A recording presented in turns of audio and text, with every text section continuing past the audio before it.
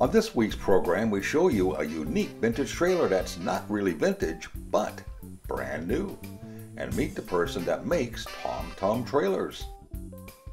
Also, Jeff Johnston shows us the advantages of the Winegard carryout antenna. And how about a healthy chocolate pudding? Evanne shows us how to make her delicious Avo chocolate treat. These stories and more on this week's Rollin' On TV.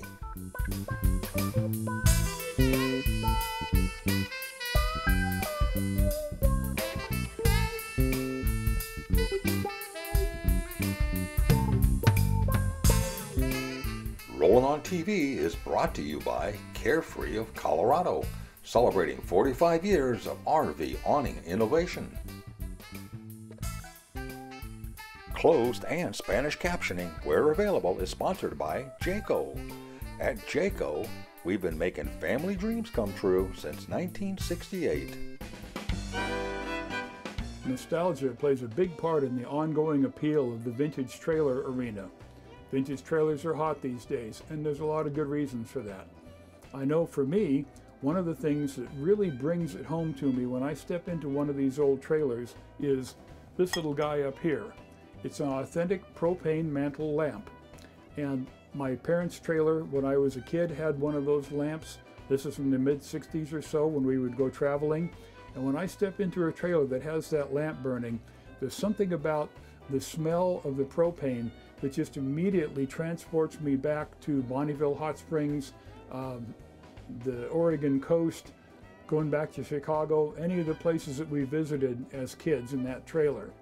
So this one, naturally, since this trailer has one of those, I can smell that and kind of one of those little little nostalgia hits that I really enjoy.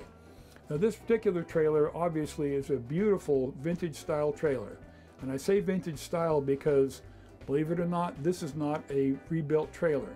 This is a brand new trailer, new from the ground up, built by a fellow named Tom Underwood. Tom has an interesting approach for building his vintage trailers, so we'll meet him out here in a minute and uh, take a look at what he does. It's pretty darn impressive. The Tom Thumb vintage trailer is unlike any new RV you've ever seen. Uh, Tom Thumb Trailers is an idea I had to uh, recreate the old style trailers, only for someone to be able to have a the old trailer, but have a brand new trailer at the same time. Uh, I got the idea um, many years ago. I've, I've, I've probably built a hundred trailers in my mind, uh, going over uh, procedures and, and, materials and so forth, and doing research. And uh, moved up to Oregon got a shop here and my wife's been very supportive and I started building Tom Thumb trailers. They're a, they're a reproduction of a 1950 rod and reel trailer. Uh, and I tried to keep as true, true to form as, as possible. So we, yeah, we started camping um, when I was very young. Some of my, my earliest memories are camping. And my grandfather had a DeVille camper and my parents would rent uh, the canned ham style trailer.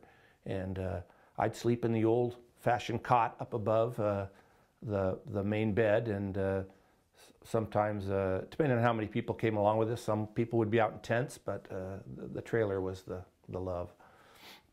My first love was classic cars. Love, love classic cars. I, I love to see them restored. Um, uh, and a little bit of the customs too. But my, my father, I got that love from my father and my brother. Uh, they're both car enthusiasts. Uh, I still have my very first car I ever had. It was a 1963 Nova uh, Chevrolet.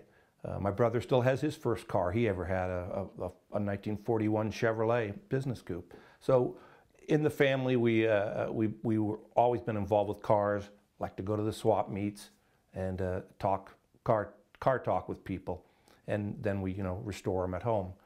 Uh, and it kind of it kind of uh, went hand in hand with the trailers in that uh, there are so many things um, are alike in the car as, as a car enthusiast than as a trailer enthusiast. And so I was able to take some of those things I learned from the cars and then things I've learned, um, abilities uh, from my father, and he was able to. Uh, uh, I was able to use those in in building the trailers. I'm the only one working on the trailers. Uh, it's uh, any mistakes you find, they're mine. can't can't blame anyone else. As of right now, uh, we we I put I'm planning on putting out about two trailers every six months. So people who are interested in custom type things, it is possible on the trailers, but you have to get your timing right or else have to be prepared to wait until the next build on the trailers.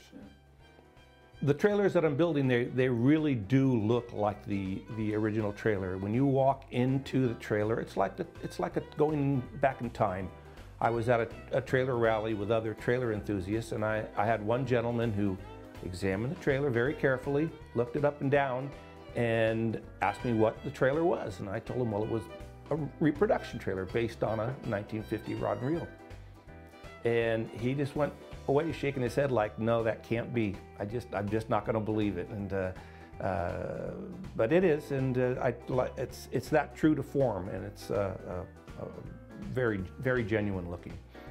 Because I used original materials, uh, very, very similar to the originals. I use real linoleum. It's not vinyl flooring, but it is linoleum, so it's uh, made from linseed oil. No, no off-gassing. Uh, uh it's, um, it's naturally antibacterial. It's, um, and it, it, flexes with, with the movement of the trailer, so there's no cracking in it. It's a, it's a really good product. Um, other things, uh, it's all birch paneling inside uh, made, uh, finished with shellac, just like the originals were. Uh, I, I, went everything, even even the, the heads of my screws. I try to use slotted screws wherever possible because you just didn't see the the uh, the old the new um, Phillips head screws in in the uh, in the older trailers. I just didn't use them then.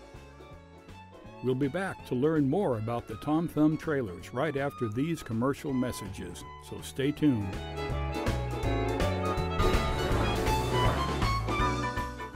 Thetford's tough new Titan sewer hose is virtually uncrushable. Ever had your sewer hose run over by an RV? Watch Titan bounce back. Titan hose is made of Thetford's proprietary blend of TPE and provides the highest degree of puncture and abrasion resistance. It has an easy to grip fitting for a leak-free connection to RV outlets. A rotating elbow easily aligns and allows a convenient connection and straighter flow. Titan provides more for your money and is another innovation from Thetford, the RV sanitation leader.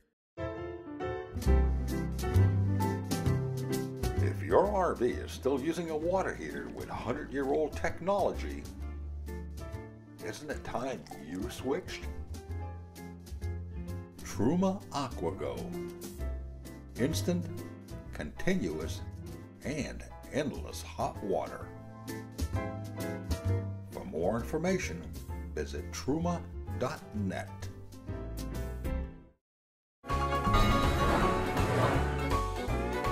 Welcome back to Rollin' On TV. Let's continue our look at Tom Thumb Trailers, a vintage style RV built all new from the ground up. It takes dedication to your craft and attention to hardware details to build a vintage RV this accurate. I make the frame myself. Uh, it's all uh, um, undercoated and then with a frame paint on it, so it's a little bit of a rust preventative underneath there. Um, then I then I built it up with um, um, plywood floor. I used a heavier than the original floor, uh, so that you have no sags or, or anything in that flooring. Um, it's it's all stick built, just like a house on the frame. It's uh, two by two framing, all screwed uh, and not nailed, so it's all screwed together. Uh, in the original trailer, how they make how they made the curves in it. Everybody asked me, how did you make the curves? Well, they used, uh, they cut strips of plywood and they, they laminated them or just lapped them over and made their curve. Well, I didn't use that. I used, I used um, solid wood instead of the plywood. Um, in the original, if they, ever, if they ever got a leak in there, once that water got into that plywood, it just expands like a sponge. Yeah. And the whole trailer's ruined. This, this can never happen. These are, I put, lam, I laminated it with, um, with solid wood in strips and made my, with, with, uh, with clamps and uh, glue and screws. And it's, uh, it's very solid, very solid part of, part of the framework. It's all uh, the original, original six inch crease seams on it, uh, just like the original trailer. And over here is one of our, our original windows that we've uh, restored, and we use this as a pattern for our new trailer. So they're identical in every form. This, the, uh, the, the only difference is the material used for the, the rubber is now a silicone instead of the old vinyl. So you won't have the shrinking like you have in, you see in the other trailers. Well, there'll be a big gap in your silicone or your, or your vinyl. So here we are at the reproduction trailer, and this is one of the reproduction windows. They're made to be identical to the original windows in function and, and looks. You could take a piece off of this window and, and interchange it with an original window and it would work just fine. They're that, they're that close in uh, specifications and, and work exactly the same as that, as the old awning style window. When you go into the trailer, you'll, you'll see that uh, right down to the welting around where the where the wood meets, uh, it will uh, uh, it, it's like it looks like the original. Um, the the hardware I used, I couldn't find identical hardware, but I found period looking hardware, nickel plated. It all is. Uh, that that looks and has the feel of the of the vintage trailer. A lot of times they were they were let's face it they were manufacturing they were putting out as many as they could as cheaply as possible. They didn't intend intend for these to last 50 years. You know, they, they, just, they just weren't built that way. Um, I'm building these so that they will last. They really will. If you take care of them, these trailers should last you a, a lifetime. Uh, with, with, the, with the original uh, uh, type materials inside. The, the dinette is, I used a reconstituted leather seating. Uh, the original was a vinyl, but this is, this is a leather. Uh, the the uh, draperies are all 100% uh, cotton with a vintage print on them, so they have the feel of it. The light fixtures are uh, almost identical. They're still making a light fixture just just very close to the original light fixture that was in there in 1950. Um, it uh, it uses a full size light bulb in there, just like in your home. Only they're 12 volt light bulbs, so they're about a 50 watt bulb. And we've got three different light fixtures in there, so there's lots of light.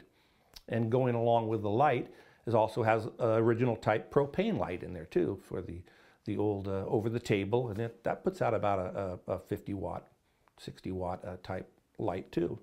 So you get that, get that feel with it uh, like that you had in the original trailers with the propane lighting. Well, I, I, didn't, I didn't put an oven in it, but it does have a stove. Uh, it has a three burner stove in it well, propane. Uh, it's got a nice, nice cover on it, so when you're not using it, extend your countertop. You have more countertop space.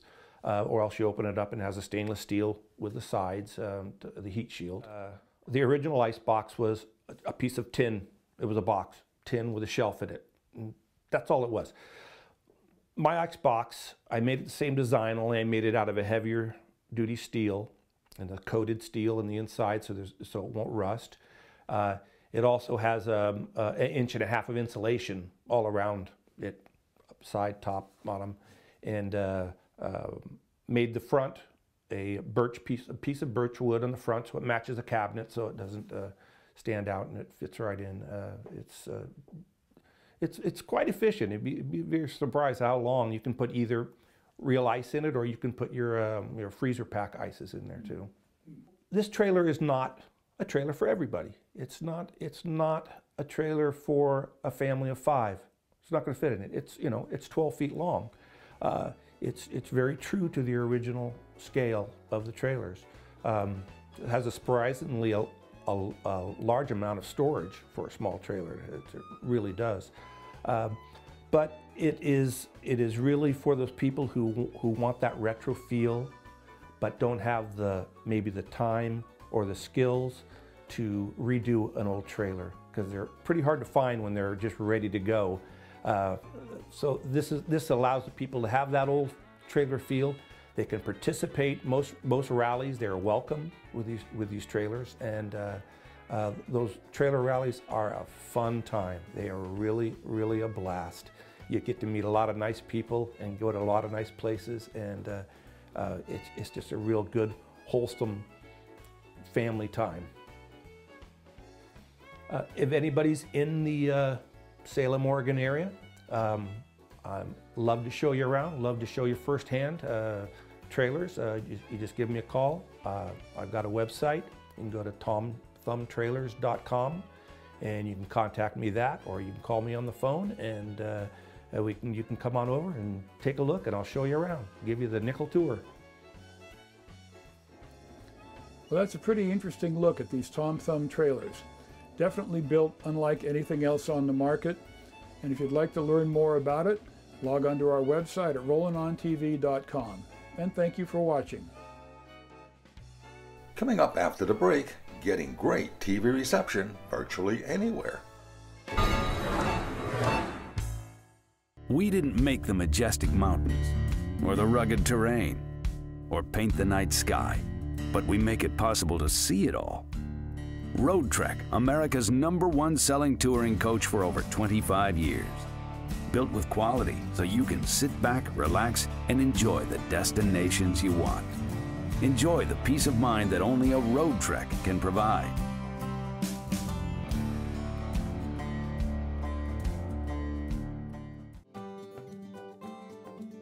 Someone once said, the camping doesn't really start until the RV awning comes out. Whoever said that really knew what they were talking about. Carefree of Colorado, celebrating 45 years of RV awning innovation. For more information, visit our website at carefreeofcolorado.com.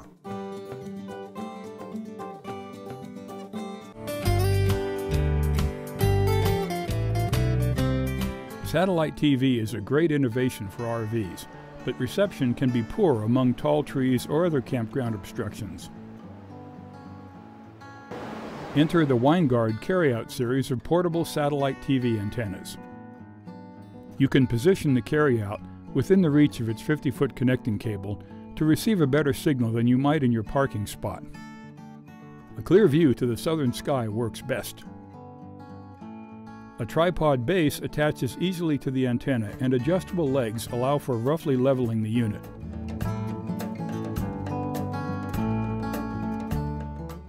The original carryout can access channels from Dish, DirecTV, and Bell TV. See the company website for more details. The ground anchor screws into the dirt and uses a bungee cord to help secure the antenna in high winds, for example. A proprietary cable connects the dish to a 12 volt power supply. If none is readily available, you can use a small converter for power. A coax cable with standard screw-on fittings routes the signal to the RV's TV signal input connector and satellite receiver. It's portable for you, so it's also portable for the bad guys.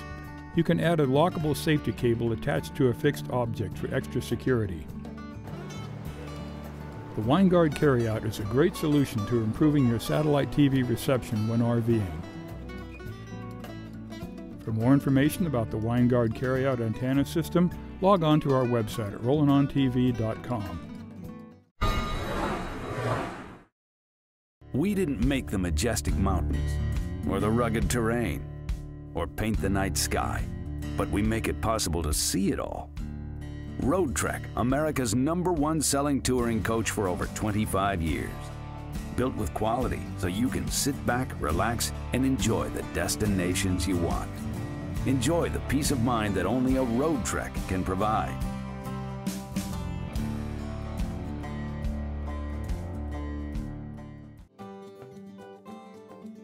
Someone once said, the camping doesn't really start until the RV awning comes out. Whoever said that really knew what they were talking about. Carefree of Colorado, celebrating 45 years of RV awning innovation. For more information, visit our website at carefreeofcolorado.com.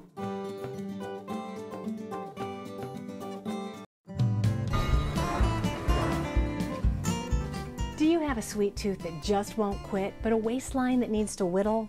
Today I'm going to show you how to make a rich, creamy, satisfying dessert that will wow you while still being healthy. chocolate pudding. what? Yeah, there's a trick to this, as you might expect. The base of our pudding is, wait for it, avocados. Ripe and ready, these nutritional powerhouses contain numerous vitamins and minerals, including potassium, folate, vitamins B, C, and E. They're also known to lower bad cholesterol and more. We'll sweeten it with a little bit of honey and add a few more healthy ingredients. In just a jiffy, you'll be enjoying a no-cook, decadent dessert that will leave a smile on your face, and only you and I need to know it's not only good, it's good for you. It's super simple, so let's get started. What you're going to need is a blender. Now you can use a Vitamix, you can use a food processor, a stick blender, a hand beater, or with a little bit of elbow grease, you can use a fork to smash the avocado and a whip to mix everything up. Okay, so to our blending container, I'm going to add two avocados. You want to make sure that your avocados are not overripe. So when you pick them out at the store, just give them a little squeeze, just a little gentle pressure, and they should give just a little bit. That's how you'll know they're ripe and ready to go. Just like that. I'm going to add a half a cup of cocoa powder right to the mix like so. I've got a quarter cup of skim milk. Perfect, like that. We're going to add about one teaspoon of pure vanilla extract. Mm, delicious. By the way, if you'd prefer to use something like a mint extract, a rum extract, or even bourbon, that works just fine too. But keep it about one teaspoon. And I'm going to add a little bit of honey. We're going to add six tablespoons, which is a scant or an almost third cup. And a lot of my viewers will know this trick. In order to get the honey to slip out of the measuring cup easily, we're going to use just a little bit of non-stick spray right on the cup, and then we're going to put the honey in it.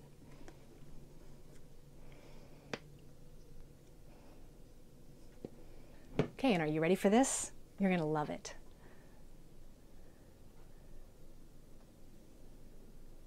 right in like that.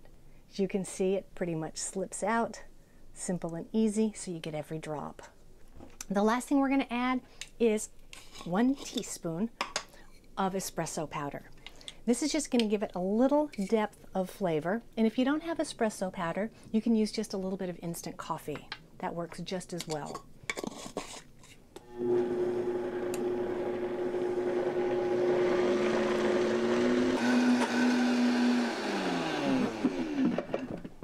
Once blended, you're going to put this into four individual serving size bowls or dishes because you're going to get four servings out of this, just like so. Nice and beautiful. We're going to garnish this with some fresh mint. Now you can use toasted coconut you can use an orange zest, whatever you like. I love the fresh mint. I'm also going to eat these mint leaves as I eat my chocolate pudding. So right in like that. And then we're going to sprinkle a little bit of fleur de sel. This is just some flaky sea salt. I happen to pick this up in Paris. It gives it a nice crunch and goes oh so well with the sweet chocolate flavor. On top like this, perfect. We're going to put this in the refrigerator. It's going to chill for about 30 minutes and then we'll be ready to eat it. All right, it has been 30 minutes. Our chocolate pudding has chilled and it's ready to eat. As you can see, by the way, it is just beautiful. Looks just like chocolate pudding. Believe it or not, it tastes just like it. So I'm going to have a bite. Let's see what we think. Get a little bit of that fleur de sel in it. Mmm. Mmm. Mm, the salt gives it just a little bit of crunch. It's creamy, mm, chocolatey, and delicious. Try this at home. It's simple to make in your RV kitchen. Let me know how it goes. I'm Evanne. We'll see you next time. Cheers. We hope you enjoyed this week's program. And for additional information on anything you saw on the show, along with additional video, stories, and more, visit our website at rollinontv.com. You can also visit us on Twitter, Facebook, and Pinterest. As usual, This has been another fun production. For the latest up to the minute RV news, visit our media partners at rvbusiness.com.